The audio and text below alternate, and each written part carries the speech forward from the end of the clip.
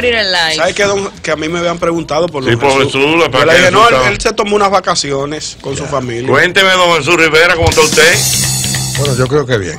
Sobre Mm. todo después de ir a la Florida a ver a mis hijas, a mis Ay, nietos. sí. Siempre bueno, Uno pues, carga batería por ahí. Qué bueno, yo me alegro de eso. Eh, ¿Qué quiere comentar en el día de hoy, don Jesús Rivera? Bueno, mire, en primer lugar agradecerles a ustedes que me invitaron a regresar al programa. Había intentado despedirme, pero realmente empiezo la nueva despedida. No debo pasar de este mes sin irme del programa. Sencillamente porque, como tú sabes, mi intención no es volver a la radio, no es estar activo. Eh, ya yo no soy locutor, yo soy un ex locutor. Yo no puedo hacer trabajo como locutor, no puedo grabar un comercial. Tengo mis facultades mermadas, fíjense bien. Eh, la voz no la domino. El que es locutor, igual que el cantante, conoce su instrumento, el instrumento de su voz, y no lo puedo usar como debe ser. La última grabación que traté de hacer, que me llamaron para grabar algo, no la rechacé porque yo no podía hacerla. Es que tenía una línea política porque era de un ministerio y yo dije, búscate otro locutor. Yo no grabo nada, nunca grabé nada que tuviera algún pequeño detalle con la política. Tú dijiste que yo era presentador de Jorge Blanco Sí, tú fuiste presentador, pero el locutor del presidente era tú. durante tres años. Locutor del presidente. Pero Jorge tú lo Blanco. dices con Sí. una Porque él armonía. era el, el, el- el- Tú le el estás locutor de poniendo Jorge blanco. Blanco. La Sí. historia está ahí. Sí, ¿Lo vamos a negar? No, No, no, no, no, espérate, no, es que para nada, no, es que para nada negarlo, déjame decirte una cosa. Hubo un momento en que yo me lamenté de haber aceptado ese trabajo, no arrepentirme para nada, porque hubo gente que se confundió conmigo. Alguien me dijo en Nueva York que ya yo podía regresar a mi país porque mi imagen se había limpiado. Sí, lo que ese tipo quiso decirme Oye, la gente es que fresca, yo robé y, Sí. y yo me fui del país huyendo de la justicia, por ejemplo. Mm. Otro me dijo que yo me beneficié del PRD. Mira qué pasa. Ninguno de ellos sabían con quién estaban hablando. Yo fui locutor del presidente Jorge Blanco porque el director de Radio Televisión Dominicana, que era entonces Miguel Peguero Calzada, me mandó a buscar porque necesitaban un presentador o maestro de ceremonia. Yo no soy presentador, yo soy maestro de ceremonia que presentara al presidente. Y me dijo estas palabras. El presidente no quiere que le den coba. Listo. Ya. Acepté con esa condición. Ahora, ¿cómo hice mi trabajo? Como nadie lo hizo y como nadie lo hará en este país. Respetando a José Guillermo Suet, que es el actual presentador del presidente Danilo Medina. Porque, por cierto, el, el presidente tuvo que devolverse. Iba en una aeronave para ir a una inauguración. Estaba- había un y mal estaba en tiempo. un mal tiempo y no pudo. Entonces, el José Guillermo Suez tuvo que explicarle a la comunidad el porqué de la ausencia del señor presidente de la República. Hago la se- al cabo, entonces quedó trancada Margarita también un Y ascensor. Margarita Hago- esta mañana se quedó. hago la Ay, excepción. pensando. Hago la excepción de José Guillermo Suet porque él, según tengo entendido, me han dicho, es miembro del PLD.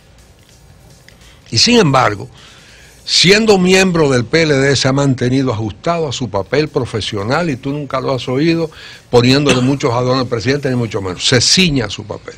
Así que yo felicito y respeto a José Guillermo. Ahora, en mi caso, yo era otra cosa. Ejemplo. Un día me entero por la prensa que el presidente tenía una actividad en Palacio con los PRDistas y le dije a Bosco Guerrero, el director. Juan Bosco Guerrero. Sí, digo, Bosco, yo no voy para Palacio, es un acto político del presidente. Pero te correspondía ahí, Jesús Rivera. No, pero yo iba donde me daba la gana. Déjame yo pedir mi cuenta para Digo, no, te lo puedo pedir mi no, te- lo No, voy- el pinche, no, no, no, te lo, voy, no- te voy a no, yo sé. me da, donde me daba la gana, oye bien. ¿Qué me contestó Bosco? No vaya, que lo presenta tu decano. Segunda oportunidad. Un secretario de Estado, que hoy es un ministro, en Puerto Plata, en un acto del presidente que se llenó de PRDistas porque el presidente ya está en plan de reelegirse, yo estaba muy alerta de no hacer nada que me ligara con eso, porque yo decía lo siguiente, El presidente tiene su papel que es de presidente, de político, pero es un locutor profesional. Lógico. Si él cuida su territorio, yo cuido el mío. Oh, Así de simple, así de simple. Y este secretario de Estado me pasa una nota, la escribe él ahí mismo, y me dice, lea eso en el micrófono. Ahí se equivocó empezando, ¿Por qué? Porque porque podía- no tiene que darme orden de esa yo manera. lo pensé, yo lo pensé, porque es que yo conozco a mi hombre. Yo lo pensé, bien. de que Ya, lea ya eso yo estoy preparado para lo que viene. Cuando leo la nota, tiene un carácter político. ¿Sabe cuál fue mi respuesta? Si usted quiere, pida un turno en el micrófono y léala usted. A ese nivel. Claro, el señor se molestó. Hizo Porque como- no es lo normal que uno reaccione así. Pero yo tuve la suerte de que cerca de ahí estaba Marino Mendoza, Marino Mendoza, bueno. que era entonces el director del Canal 4, se da cuenta de la situación con el ministro y ¿qué le dijo al ministro? No, Jesús no se mete en eso. ¿Oíste? Marino le dijo al ministro, no, Jesús no se mete en eso. Lo cortó a sí mismo. El hombre se quedó con su papelito en la mano y ahí quedó. Sí. Tercera ocasión. Estamos en Santiago. Eso, tú duraste como, como locutor del presidente hasta que terminó Jorge Blanco. Tres años no fueron. Sí, pues yo Cuatro. renuncié, yo renuncié antes, pero me- antes. no quiso que me fuera. Me dijo, no, por favor, quédate. Y me quedé hasta el final. Pero yo había renunciado antes. Oye bien, en Santiago... Perdóname Jesús la pregunta porque estoy inquieto. no, ¿Y, sigue. y en el PRD no había más locutores? Ey, no iba esa No, pero pregunta. Tú ves que esas son las perdóname. vainas Eh, tuyas. No, perdóname. No- Es que recuérdate que yo no tenía nada que ver con el PRD. Ok, está bien, pero en el país había más locutores, Jesús. No, no, sí, había más locutores, pero lo que te quiero decir... Lo querían a él, era No, no, no, no, no, no, no. No, no, quien me quiere es Bosco. Juan Boco Es que yo, recuérdate que yo dije aquí en el programa que nunca pertenecía a ningún partido político y que soy una de las personas más independientes que tú has conocido. Oye bien, ni a iglesia tampoco. Tampoco No, tampoco. ¿Tú sabes por qué? Porque si pertenezco a un partido político, me van a convencer de que todos los de contrario son unos malditos. ¿Así funciona o no? Sí, así, así, así. Y si me meto en una iglesia, me van a decir que el que no está en esta iglesia, los demás se van a ir al infierno. Es así. entonces, por eso no estoy ni en partido político ni en iglesia tampoco. Así funciona. Pero la tercera vez fue peor. Estamos en Santiago, era el día 30 de marzo, que no sé por qué lo celebran con tanta eh, con tanto espectáculo que hacen, porque ya lo he dicho, el 30 de marzo no merece tanta celebración, ¿Por qué? ¿Por qué? porque no tiene la importancia histórica que le han dado. La importancia histórica le corresponde al 16 de agosto, que es la gloria de los cibaeños. Y le están negando al Cibao el gran heroísmo, la importancia de esa fecha. Se la han negado. Y la sustituyen por el 30 de marzo. Ya de eso no quiero hablar, porque ya lo he dicho. Pero volviendo al tema, estamos en Santiago, se han hecho desfiles en el día, era menos que ahora, ahora hacen un espectáculo que va al país entero. Eh, en la noche había un concierto en el monumento con la sinfónica. Cuando termina el concierto me dice don Lulio Moscoso, Con Lulio don Moscoso. Lulio bueno. Moscoso, que era el director técnico de televisión del canal. Y que honor a Me él se dice- le puso el nombre al museo. Del Canal no, no, 4. que que es un señor maravilloso, yo lo quería muchísimo. Me dice don Lulio, Jesús, mañana hay una cena en el Hotel Matún con el presidente. Y le digo yo, eso no está en el programa, porque yo estoy muy alerta siempre. Digo, eso no está en el programa. Pero era. Digo, ¿por qué es la cena? ¿Con qué motivo es la cena? Me dice don Lulio que no sabe. Yo sé que él sabía, tenía que saber. Oye bien, y no me dice. Logré que alguien me dijera que era una cena que la avanzada electoral le hacía al presidente de la República. Buscando la reelección. Digo, un acto político. Van a ver lo que es Jesús Rivera. Ay, Ay, ay, sí. Pero, pero era mejor. Cuando sí, llegó a- al otro día era a las 8 de la noche. Se caigan a Yo estaba hospedado en un hotelito de mediana categoría en el centro de Santiago, que era muy limpio, tenía un comedorcito. Ahí se hospedaban muchos eh, agentes vendedores Sí, y esas agentes cosas. vendedores. Mira, mira los niveles de los empleados. El director, don Lulio y gente de ese nivel estaban en el Camino Real. ¿Ok? Yo no. Yo no estaba en ese nivel porque mi dieta es más pequeña. Yo estoy en ese hotelito que me costaba 40 pesos la noche. Oye bien, los demás técnicos y choferes están en hoteluchos de chinos que son más baratos porque su dieta es más bajita que la mía. Sí, no sí. pueden estar en mi hotel. O sea, no hay nadie en mi hotel preparado el escenario para lo que yo voy a hacer. A las 5 de la tarde, yo no veo, yo no sé, Yo sé que Bosco pasó, está, yo sé que Bosco está en su hotel, pero yo no tengo forma de comunicarme con Bosco. No hablo con Bosco ni nada. A las 5 de la tarde de ese día, la cena era a las 8 de la noche, compré todos los periódicos del día, cené temprano en el hotel y me tranqué en mi habitación a leer los periódicos y de ahí no salí nunca. Bien Correa leyendo. leyendo todos los periódicos. Nunca llegué al hotel, no fui.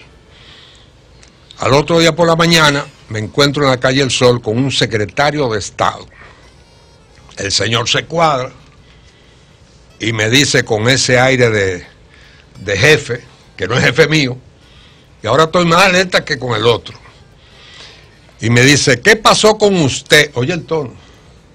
Me está dando un moche el hombre. Ah, ¿Qué pasó con usted? Que anoche usted no apareció nunca en el Hotel Matún.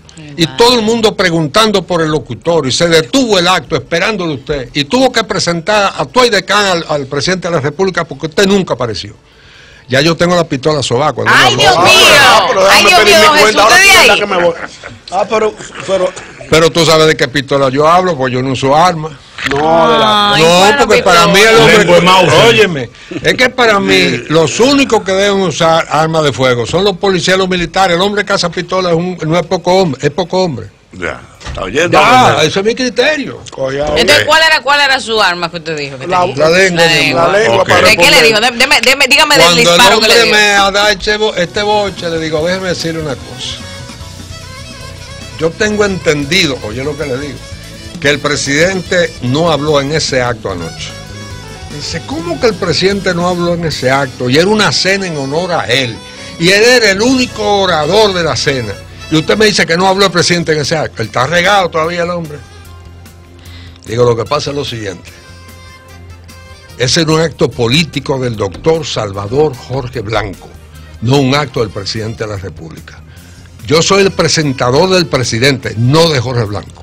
Y déjeme decirle una cosa. Que no es el Yo soy un hombre. profesional, sé dónde tengo que estar y dónde no tengo que estar. Buenos días. Así y, lo, y lo soltó banda. Dios ¿Y dónde mío. puso la cara? Pablo, Puso la eso tú vuelves- ahora, yo- No, no, no, No, no, Tú tienes que volver en la semana que viene para que nos sigas dando esas pinceladas Históricas. de- históricas de lo que ha sucedido de- en tu carrera como locutor. Mira, ya les dije que este es mi último mes, Mm. Así que vendré tres semanas más. Si no me canso a mitad de camino y me No, retiro. No, no, tiene no, que no, venir. no te Ay, no, canses. Jesús, Ahora no Jesús, sea yo no sé, hombre. pero déjame decirte, tu voz está muy bien. Tú puedes grabar cualquier comercial. No, no grabo Él nada. dice que no. ¿Eh? Muy No, bien, no tú puedes puedo. hacer cualquier programa. No puedo, no puedo, no la siento bien. Tú Él sabes no- que él- tú él se sabes, siente así. tú sabes lo que da. No doy, no doy el nivel de mi voz. Es más, estoy peor. Tengo la preocupación de que hay algo en mi cerebro. Yo acabo de venir de Estados Unidos, de mis médicos todos los años me hacen una evaluación general. Supuestamente estoy bien siempre, pero ¿Tú tienes cuánto? 70. 77 años. 77. Me faltan 3 para 80. Wow. No, pero tú estás Lo que bien. quiere decir que tengo la esperanza de estar activo hasta los 90, lo que quiere decir que me quedan 13 años eh, de vida activa. Ya de ahí en adelante voy a ser muti bastante. Eh, en, el- en cuanto a mi salud ya no está muy bien. Me dijeron que el colesterol malo está alto y el colesterol bueno está bajito. No me sorprendió. Los malos siempre le ganan a los buenos. es verdad, ¿de qué le ha valido a uno Aunque? Papito Social tiene una, teoría que, no- que no eso, vamos a... eso que no te preocupes. Yonquito tiene el colesterol como en 300 y veo dónde está ahí. Estoy vivo. Y está vivo. Mira, eh, eso no me preocupa, porque yo he dicho una cosa, incluso a mi esposa, digo, mira, a mí ya no me preocupa ninguna enfermedad. A mí me quedan tan pocos años de vida que en lo que ella se desarrolla yo me morí ya. Ay, Además, oye, hay otra cosa. Hay un, hay un intelectual argentino, Ernesto Sábato, que dijo esta frase que para mí tiene un significado tremendo. Yo Hay una frase, hay una idea de Sócrates, que no era de Sócrates esa frase, ya existía, pero él la tomó con un imperativo moral, que es conócete a ti mismo. La vida me enseñó a mí mismo que tú, Jochi Santo, ¿qué edad tú tienes? 64. 6-4. Ya tú estás en la etapa de conocerte a ti mismo. No es de los cono- si 60 no en se conoce. Oye bien, es de los 60 en adelante cuando el hombre y la mujer empiezan a conocerse a sí mismos. Porque no antes tú no poco. sabías quién tú eras. Yo tampoco. Pero mira lo que dijo Ernesto Sábato.